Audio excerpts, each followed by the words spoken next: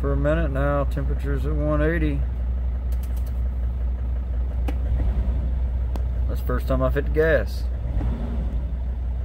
Second time. Woo!